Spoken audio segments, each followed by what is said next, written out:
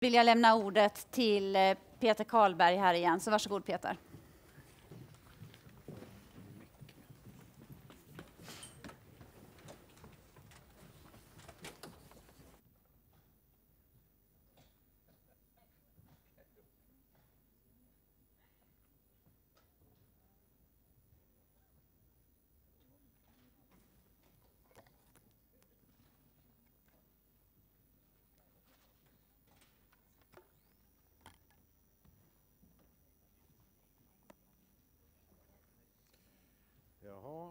Hörs jag?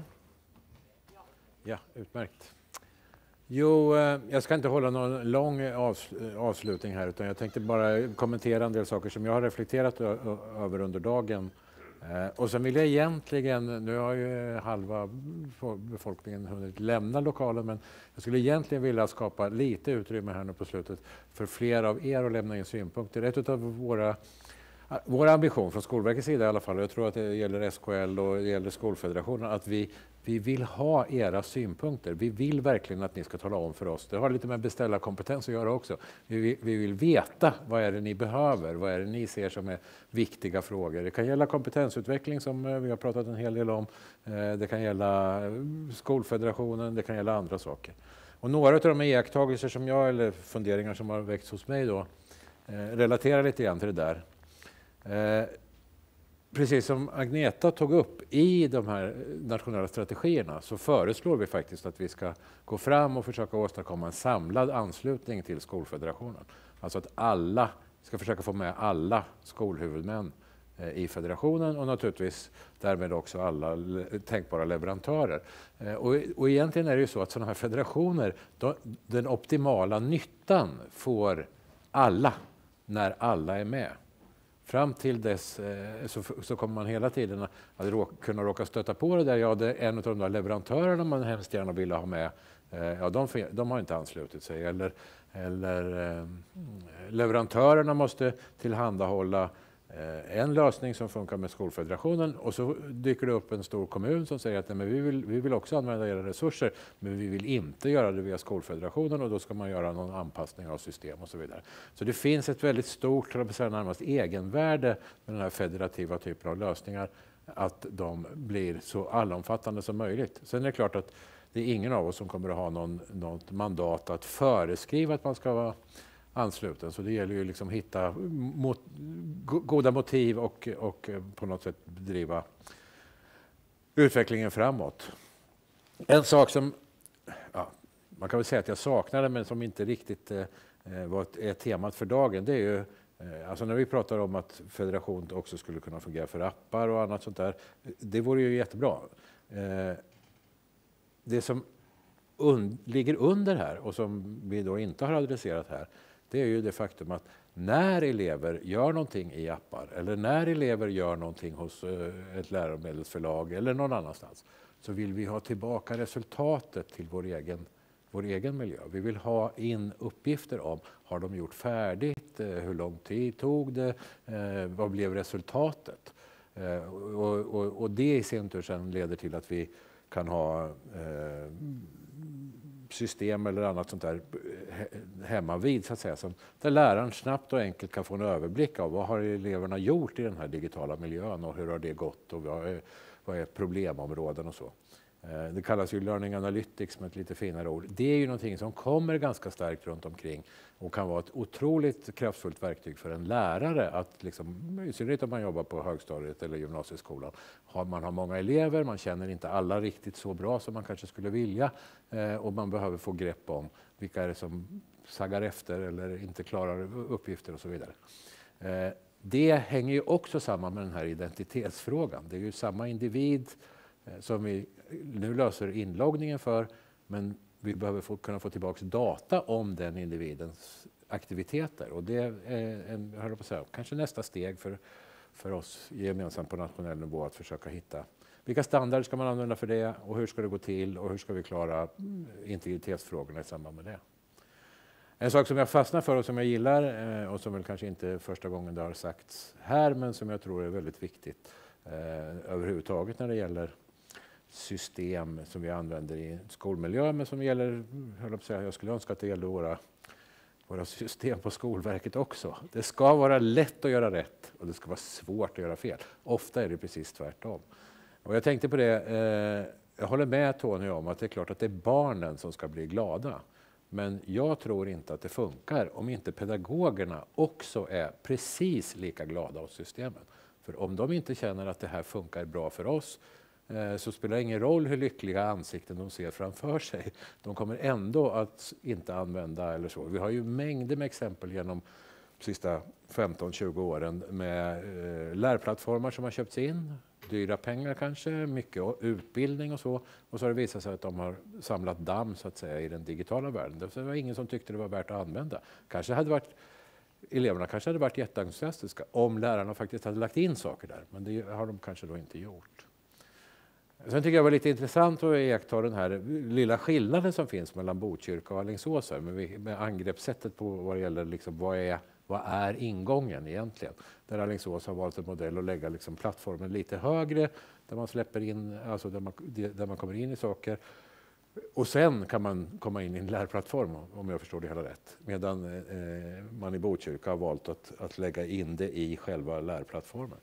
Eh, och jag har inga synpunkter egentligen på valet där, annat än möjligen att man låser sig lite, lite mer i Botkyrka då, till den lärplattform man har valt, än vad man gör i Alingsås, där man faktiskt kan skifta ut den eh, tämligen obehindrat under tiden. Då. Men det är strategiska frågor som man måste avgöra lokalt, eh, är min bestämda uppfattning. En annan sån där fråga som, eh, som ju kommer in på, eh, som, som relaterar lite grann till det här med beställarkompetens, det är ju alltså vad måste, vad måste man egentligen veta och på vilken nivå måste man veta? Här har jag bara satt upp skolledaren som, som ett exempel, men det finns ju andra. Man kan vara strateg eller man kan vara politiker eller någonting annat. Sådär. Så vad behöver man veta för att kunna fatta rätt typ av beslut om olika saker? Och en av de saker som skolledare, som ingår i skolledarens kompetens är ju Alltså om, man, om man ska driva ett förändringsarbete så måste man ju veta var, till, var, till vad då? Alltså till vad är det för undervisning som jag tänker mig ska bedrivas på den här skolan där jag leder förändringsarbetet? Och då måste jag ha någon slags måttstock. När har jag uppnått den typ av förändring som jag vill åstadkomma? När, när, och, och vilka lärare är det som är kvar att jobba med och utveckla deras kompetens kanske så. Eh, Precis på samma sätt som lärare, vi, vi pratat, eller jag pratade tidigare om att lärare kan ha stora svårigheter att bedöma vilka lärresurser som är bra att använda i olika sammanhang. Skolledaren behöver ju kunna bedöma hur, vilken, vilken del av personalen funkar bra, vilka kan utgöra förebilder, vilka, kan, vilka behöver mer, mer stöd och vilken typ av, av kompetensutveckling behöver de. Eh, men det viktigaste av alltihopa tror jag, eh, det är att vi måste vara överens om vart vi är på väg. Och eh, då är det naturligtvis, som Tony var inne på, barn och eleverna som är liksom det centrala. Vi vill att de ska vara aktiva, eller kunna vara aktiva, kreativa, kompetenta och ansvarstagande i en digital värld. Och att våra barn och ungdomar ska vara likvärdigt förberedda för medborgarskapet i detta digitala samhälle. Det måste vara vår gemensamma målbild. Det måste vara det vi menar med adekvat digital kompetens. Det måste vara det som, som, eh, som vi liksom alla ser som en gemensam målsättning. Eh, och, och då är det en viktig del i förändringsledarskapet på en, i en skola till exempel, att skolledaren kan få eh, personal och så att, att se att det är det här som är vår uppgift. Det är det här vi ska åstadkomma. Vår, vår lilla bit, om du nu tänker att man är på lågstadiet eller så. Men man ska se att det, här, det, det, är den här, det är den gemensamma målsättningen. Och med det så skulle jag vilja öppna för att ni gärna får ja, lämna synpunkter, ha kommentarer kring de här frågorna som vi har pratat om här idag. Eh, det här är inte enda tillfället ni kan eh, göra det naturligtvis. Ni är välkomna att kontakta oss på Skolverket när som helst. Jag är övertygad om att Skolfederationen gärna tar emot eh, önskemål och synpunkter och jag är helt säker på att eh, Johanna eh, älskar att bli kontaktad av, av folk. Så. Och är det så att ni har några frågor som ni kom på till den här panelen, de är ju kvar här, de flesta, jag tror alla. Och så är det någon fråga som hänger kvar eller som ni kom på nu efteråt, så passa på att ställ den nu också då, för de, de kan vi också hjälpa till att svara om det skulle vara så. Eller är ni alldeles för uttröttade? För, för, jag ställer för stora krav på er nu så här. Eh,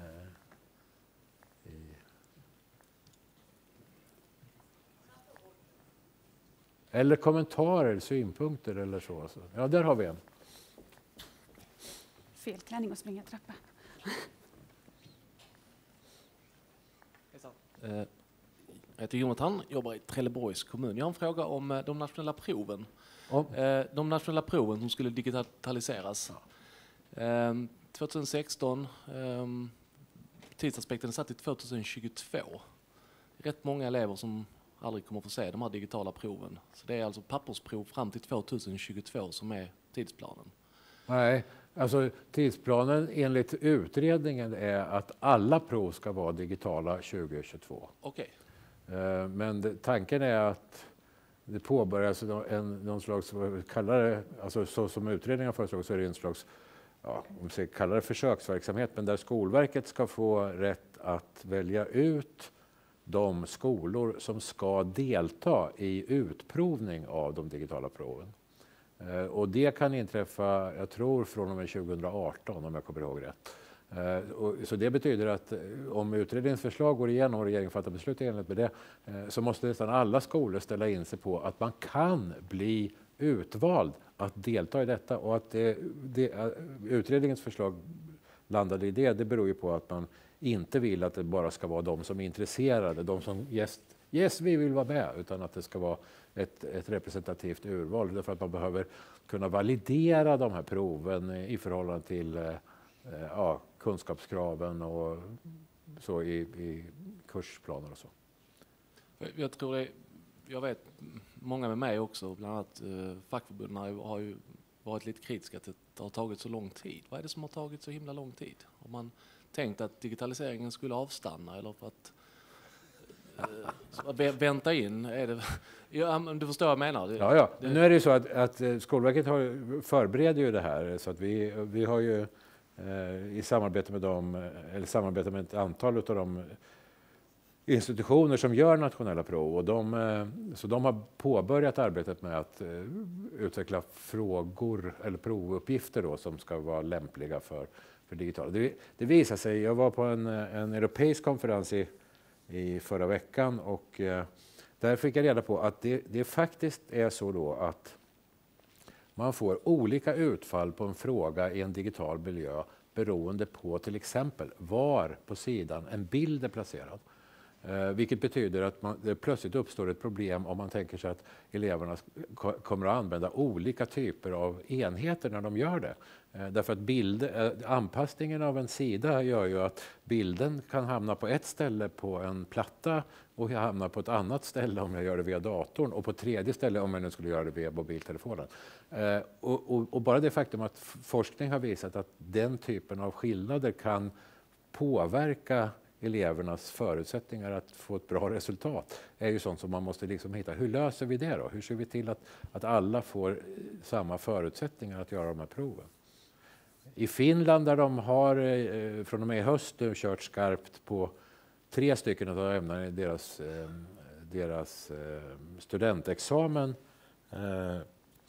så, så har de ju, de har ju haft provverksamhet och de hade generalrepetition i våras då massa elever fick, fick pröva det här fast det var inte giltiga studentexamen då för att de skulle komma fram till att de har ett system som, som fungerar för, för eh, alltså som ger möjlighet att göra de bedömningar som vi tänker oss att proven ska ge.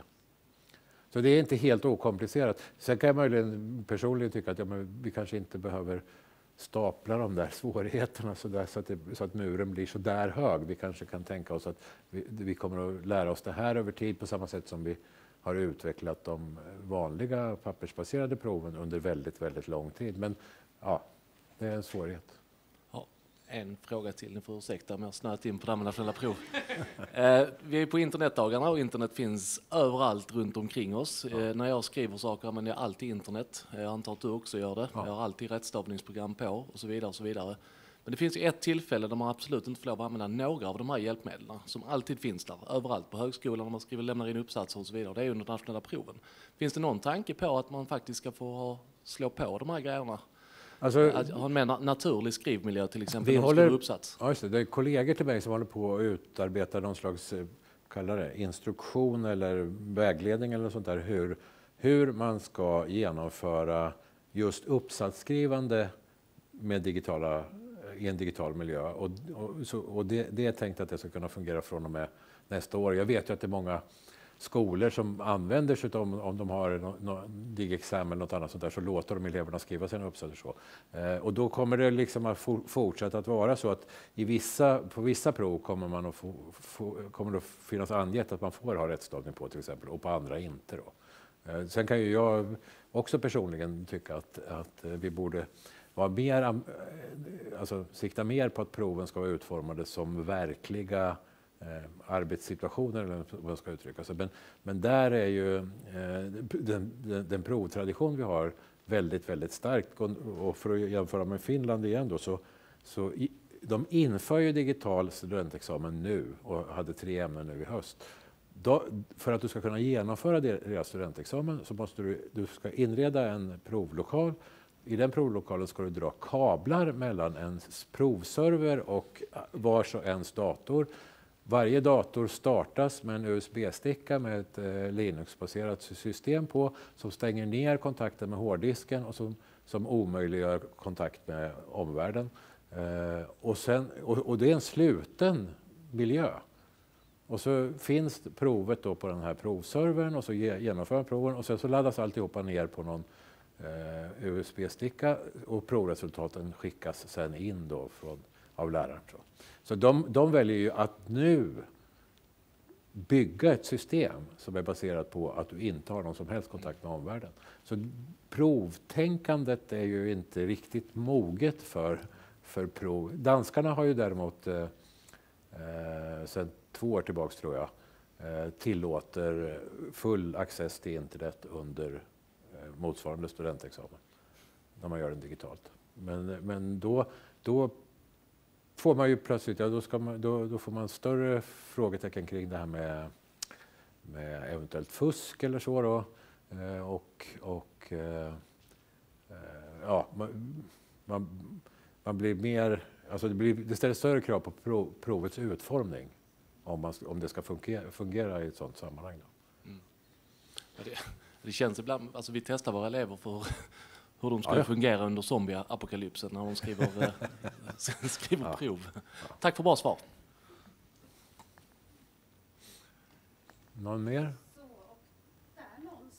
så tror jag, nu börjar jag prata fast inte min var påslagen, eh, om eh, det inte är några frågor som känns som att vi måste ställa akut. Att vi ska summera den här dagen lite kort. Eh, är det något mer, Staffan, eh, akut i Twitterflödet som du känner att du vill ta? Det har varit ganska lugnt i Twitterflödet, säger Staffan här. Eh, då besvarar vi inte de frågorna som är där. Eh, jag skulle vilja knyta ihop säcken lite grann bara.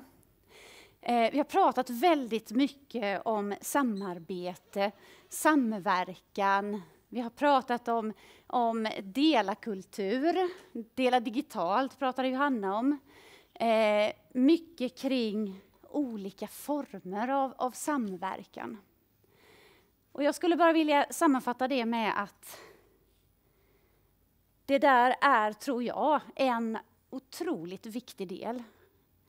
Eh, Men sen så vill jag också tillägga det att samarbete måste ju någonstans börja med en individ.